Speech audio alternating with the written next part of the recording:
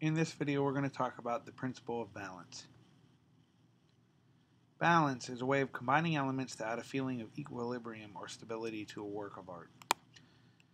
In other words, taking different objects or different shapes, different colors, and balancing them together so that they either are divided in half, divided in a circle, or they're not really divided, they're sort of unbalanced.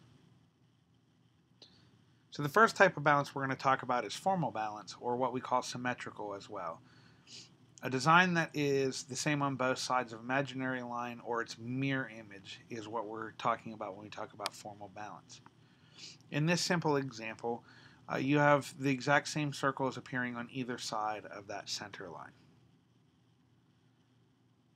If an object is different on either side of that center line, we create what we call informal balance or asymmetrical balance.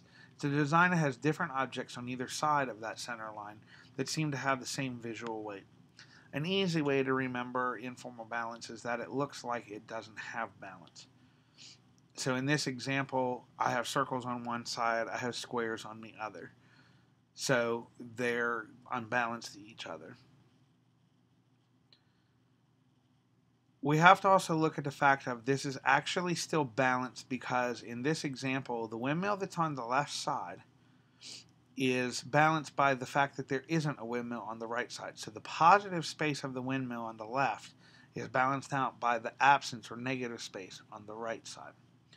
Uh, so it really still does have balance, but an easy way to remember is it looks like it's unbalanced. The last type of balance is radial balance, and this is closely related to formal balance. In that formal balance being mirror image, I'm actually formally balancing something in multiple directions, and that ends up making it look like it's arranged around the center point. So in this example, you can see that each of the smaller circles around the edges seem to be arranged around the center of this big circle in the center. If I divide that design up in four directions, vertical, horizontal, and on both diagonals, it ends up being formal along either one of those or any of those red lines.